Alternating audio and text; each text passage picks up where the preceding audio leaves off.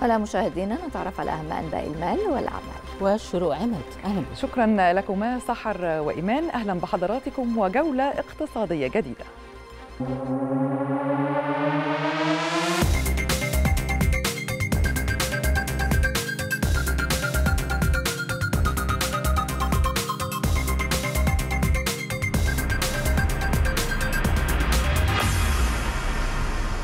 نفى المركز الإعلامي لمجلس الوزراء ما تم تداوله من تقرير صادر عن أحد المؤسسات الدولية يزعم تعثر مصر في سداد مدفوعات وارداتها من القمح المستورد.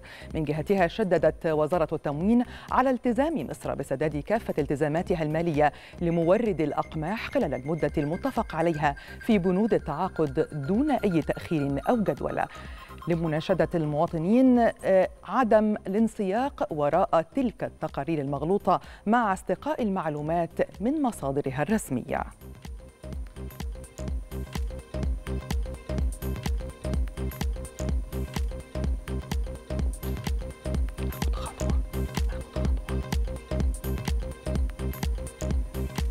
في أسواق البترول العالمية ارتفعت أسعار النفط واستقرت على نطاق واسع خلال الأسبوع إذ ساعد تعهد السعودية بخفض الإنتاج في تهدئة القلق من نمو الطلب.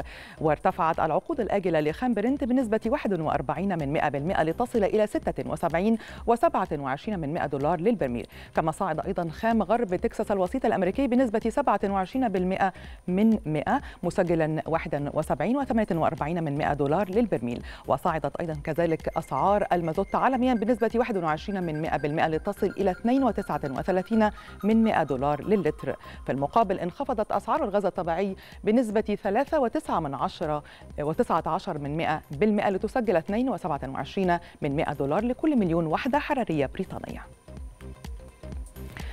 فتحت المؤشرات الرئيسية للأسهم الأمريكية مرتفعة مدعومة بقفزة في أسهم تسلا غير أن المستثمرين أحجموا عن المشاركة إلى حد كبير قبل صدور بيانات التضخم وقرار السياسة النقدية الأمريكية الأسبوع المقبل. وارتفع المؤشر داو جونز الصناعي بنسبة 6 من 100% وصعد المؤشر ستاندرد أند بورز 500 بنسبة 26 من 100% كما زاد المؤشر ناسداك بنسبة 56 من 100%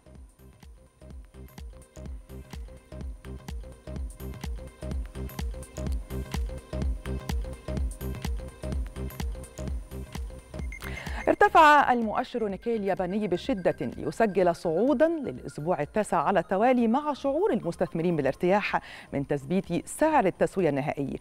وزاد المؤشر نيكي بنسبة 1.97 من 100% محققا أكبر مكاسب يومية منذ الاثنين الماضي. في حين ارتفع المؤشر 2.35 من 100% خلال الأسبوع كما صعد المؤشر توبكس الأوسع نطاقا بنسبة 1.5 من 10% وارتفع كذلك أسهم قطاع الشركات الشركات التجارية بنسبة 3.19 من 100% لتسجل أفضل أداء بين 33 مؤشرا فرعيا في بورصة طوكيو للأوراق المالية. وصعدت كذلك أسهم قطاع الأدوية بنسبة 2.2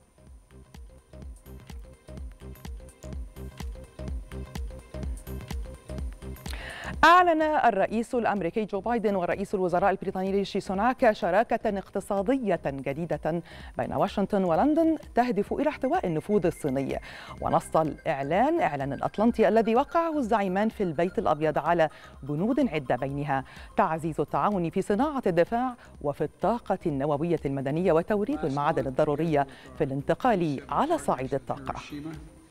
We drove progress in everything from our shared support for the brave people of Ukraine to the common principles of engaging with China. There's no country closer to of my British friends. لقد بحثنا شراكاتنا الاقتصادية الجديدة وكيفية الارتقاء بها لضمان بقاء بلدينا في طليعة دول العالم. إن شراكتنا الاقتصادية هي قوة هائلة ومصدر قوة يرسخ كل ما نقوم به معا، ونحن نريد تسخير هذه القوة للتأكد من أننا نخلق وظائف جديدة وندعم أسر الطبقة العاملة في بلدينا. لا يوجد بلد أقرب إلينا من بريطانيا العظمى، وبصفتنا حلفاء للناتو وشركاء في الابتكار وأصدقاء في الرؤية المشتركة للمستقبل، فإن بلدينا مستعدان لمواجهة التحديات. وأنا واثق من أن المملكة المتحدة والولايات المتحدة ستستمران في قيادة العالم نحو المزيد من السلام والازدهار والأمن للجميع.